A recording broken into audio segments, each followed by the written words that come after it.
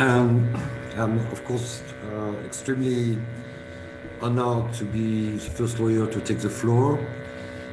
Um, I'm also extremely honored to uh, recall that uh, I have defended uh, NCRI and uh, his team, his movement for about 20 years.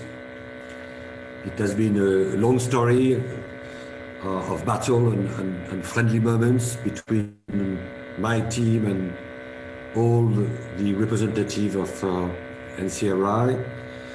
Let's say without uh, any excess of confidence and excessive pride that for the moment we won all the battle and uh, we were in capacity to obtain uh, regularly uh, complete dismiss of charge uh, in all the proceedings uh, which were initiated in France, with obviously, uh, which has been denounced by us, the main political underground, uh, despite the continuous efforts of Iranian regime to put the pressure on French authorities, despite continuous efforts of Iranian regime to criminalize the Iranian uh, opposition and especially the NCRI.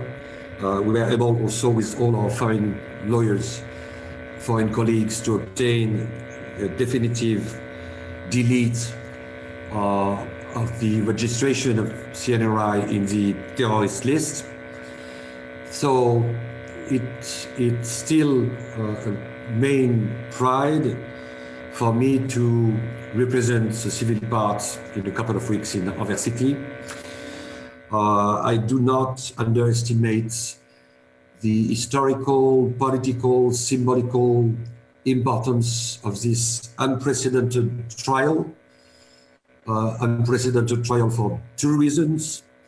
One, the exceptional uh, bomb plan, which could have been devastating for for numerous of, of persons in, in Villepinte, and unprecedented also because uh, we know, uh, thanks to the Belgian prosecutor, that the implication, the direct implication of Iranian state uh, in this awful, disgusting crime is now established. So in a couple of weeks, we will be there with all our determination to defend the civil part with my friend. Uh, and we will be there also to assure uh, that the judge uh, render, will render, uh, render that reflects the seriousness of the crime and clearly establish, as it is the case, the direct implication of the Iranian authorities for everyone in Europe and abroad, it will be clear that close to the four indicted will sit the Iranian regime itself.